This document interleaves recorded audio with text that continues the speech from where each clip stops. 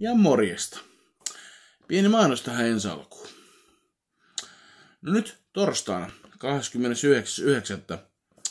kello 18.30 kohtaa Kosken Dynamo vs. Pirkkalan Pirkat. Ja ö, liput on 5 euroa ja alle 15-vuotiaat pääsee ilmaiseksi. Toinen peli sunnuntaina toinen kymmenettä Koskihallissa kello 17.00 Kosken Dynamo vs. PTU Porista, PTU Porista Pitu tai kuolema, mikäli enää, en tiedä.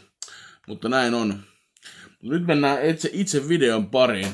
Tänään Rundella testissä Limited Edition Skyr vanilja valkosuklaa.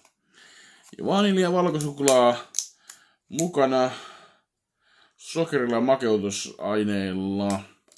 Joten eiköhän tyypätä nyt ensi alkuun, minkä makuinen, tai siis miltä, maistuuko se nyt sitten näitä.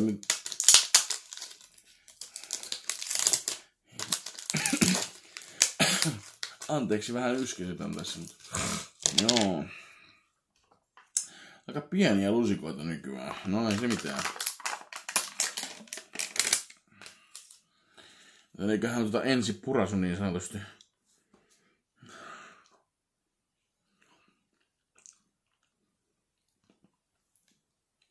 Yllättävän hyvä.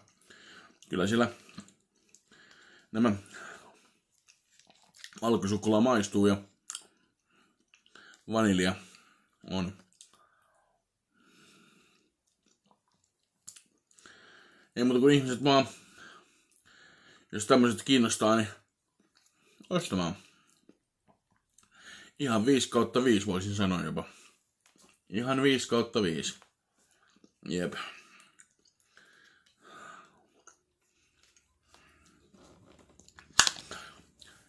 Kiitoksia, että katsoit tämän videon. Jätä toki tykkäys, jos haluat. Ei ole pakko.